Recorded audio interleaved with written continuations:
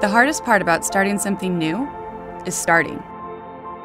Is 2017 going to be the year of easy? The year of almost? I'll start tomorrow.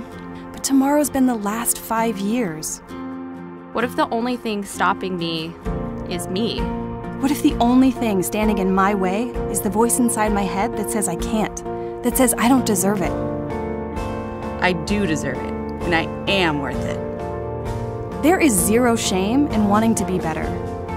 The first thing I'm gonna do is accept that I have everything I need to start making a positive change. Then I'm gonna start and start small because I don't have to do it all. The important thing is just get going and never quit.